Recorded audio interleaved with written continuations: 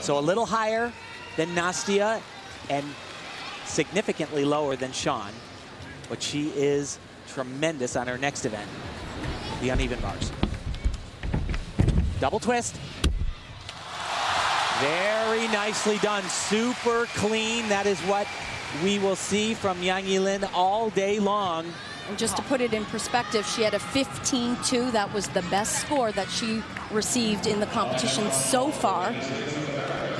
That could go a little bit higher. The only error is that obvious step, but we'll be talking about this all day long. She needs to have enough rotation so that she lands straight up and down. She has a little bit of a hip angle. You see that? She should be